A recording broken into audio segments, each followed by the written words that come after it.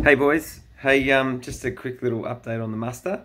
It's um, it's all go. It's going ahead. We've double, triple checked, and we're allowed to go and do the muster. Um, if like regulations change, then um, and you're booked in, you'll get your money back. And what we'll do is we'll do a big day um, in at in at church, um, a similar kind of thing, but just a day thing. So um, yeah, lock that weekend away. Just quickly, what it is is it's like a it's a blokes camp, um, Christian camp. So you go there, you start on the Friday night. Um, there's worship, there's teaching, and there's fun. We head out and you can go full driving or surfing or whatever you kind of want to do. So um, it's a good time. We've got a guy called Tim King. He's coming to speak. He's the camp speaker, and the guy is such a legend. He's a really good communicator and he's a really great teacher.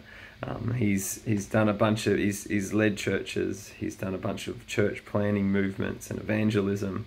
Um, and the, the dude just really loves Jesus and he's a down to earth fella. So, um, yep, that's the that's the camp speaker. Um, there's great food and just good times with other blokes. So, um, I encourage you to, to book in, get along, um, and invest that time. Like I've said before, it's it's never easy to go away for a weekend when you've got a family or when you've got a busy life.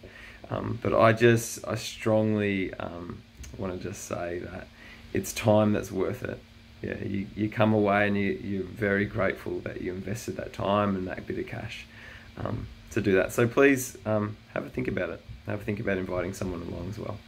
All right. Hey, love you dudes. I would froth to hang out with you for a weekend. All right. Catch. Bye.